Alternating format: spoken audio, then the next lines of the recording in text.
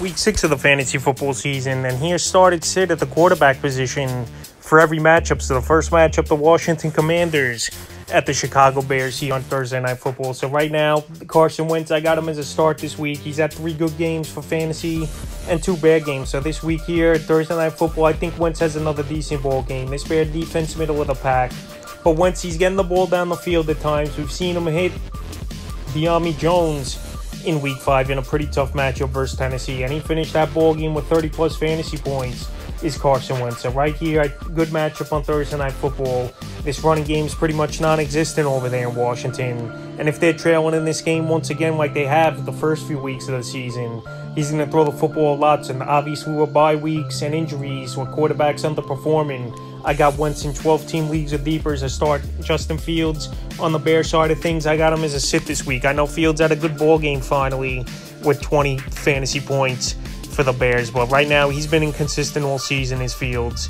This is a decent matchup on paper, and I know I recommended him as a waiver wire pickup, but right here, that's only in the deepest of leagues. But 12-team leagues or less, there's no way you're going to start Justin Fields unless obviously you're desperate. You're desperate for a starting quarterback this week and need a guy in a pinch. But right here, I don't think Justin Fields is the answer. So I got him as a sit this week as a sleeper option, maybe, but no way as a guy I would start this week at the quarterback position. Now on to the next ball game of the week here. We got the Minnesota Vikings at the Miami Dolphins. So right now, Kirk Cousins, he's a start each and every week. When you got a number one wide receiver, obviously, like a Justin Jefferson and solid guys like Adam Thielen, Irv Smith Jr., and good running backs in Cook and Mattison, you're going to put up fantasy points. I know this Miami defense has been pretty decent this season, but now with the problem at quarterback here and getting off the field a lot is this Miami offense. This defense is taking a hit, getting tired out, and Kirk Cousins, he's definitely a quarterback.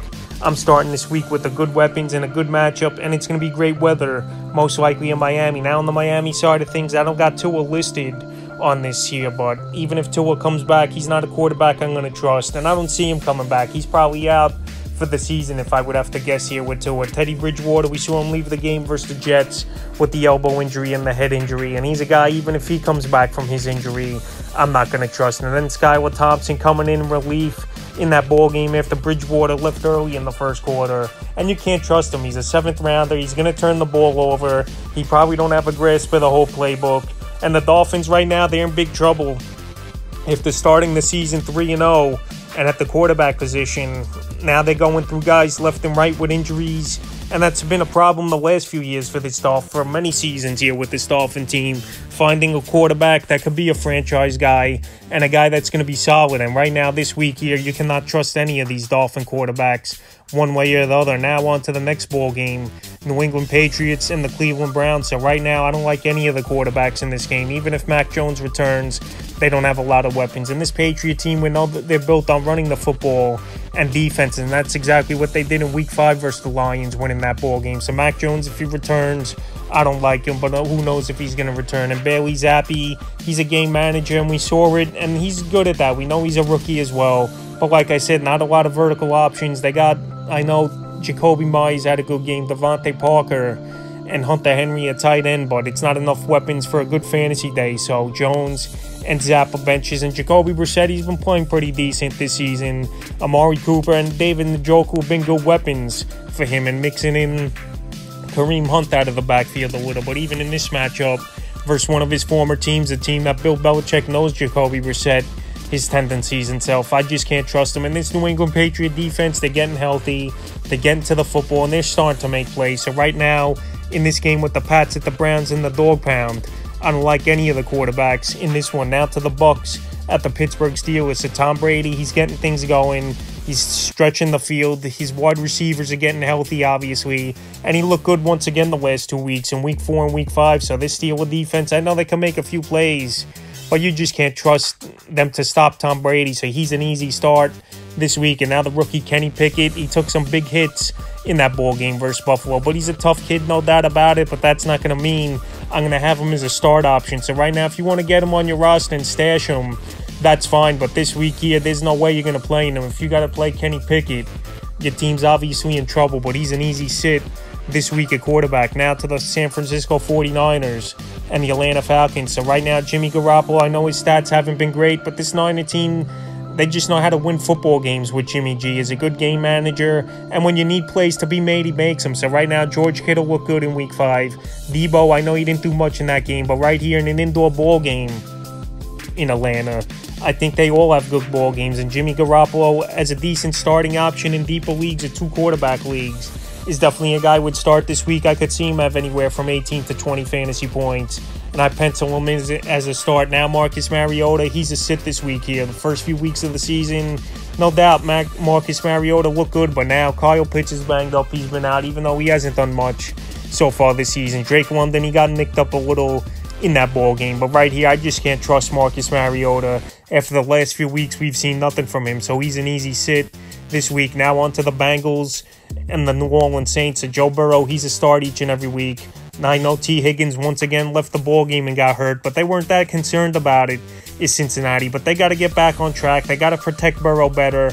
And I think in this ball game, after we saw Geno Smith go off at the Saint defense, Joe Burrow could get things going, and Ja'Marr Chase has to get things going as well. So I got him as a start this week Burrow. Now on the Saints side of things, I'm sitting everybody in this one. Jameis Winston, bad back injury, might return this game, who knows? But you can't trust him. I know the Spangled defense ain't that great, but they still could pick apart some offenses. We saw with the Jets, and I think they played pretty decent versus the Ravens. So we're right here. Winston, if he returns, he's a sit. And Andy Dalton's a sit as well. At this point of his career, he's a game manager and a guy who could go out there and make a few plays, but he's not fantasy relevant. And Taysom Hill, I just think it was a fluky ball game. He's not going to score 36 fantasy points. Again, just running the football every time. So right here in this one, they all sits to me. Now onto the Ravens and the Giants. Lamar Jackson, we know he's an MVP candidate, and we know he's going to come out and have a big ball game, I believe, versus the Giants. I know the Giants are four and one but it's a little fluky, and I think Lamar has a big ball game in this one, and he's a definite start. Now for the Giants, there's no way you could trust Daniel Jones. I know they're four and one, but this team somehow is four and one with no weapons on the outside making plays. I think this Giant team, it's beginner's luck this season, new coaching staff and all, but it's going to start kicking in sooner than later when you don't have offensive weapons besides the Saquon Barkley that you're not going to win ball games and put up fantasy numbers. And Daniel Jones really hasn't put up numbers anyway this season and he's an easy sit now to the Jets and the Packers. Zach Wilson, he's been playing better so far this season than he did last. He came back in week four, and the Jets are 2 0 with him, but they versed a weak Pittsburgh Steelers team, and they beat a Miami team decimated. So, right here, you know, the Packers aren't happy after blowing that ball game in London. They're back in Lambeau Field, and I just can't picture Zach Wilson really having a big fantasy day, and he hasn't anyway the last couple weeks here. So I know I recommended him as an add, but that's in deeper leagues. But in 12 team leagues or less, he's a sit this week, even though he's had good weapons this year. And Wilson, Breece Hall, and Davis emerging this year. Now to the Packers side of thing, Aaron Rodgers, he's not putting up MVP numbers this season, but he's still been a pretty solid quarterback. 20 points a week he's averaging pretty much is Aaron Rodgers. So right here, you know he's not going to be happy. He's growing a better rapport with his wide receivers. Romeo Doubs, Allen Lazard, all reliable. Randall Cobb's been stepping up.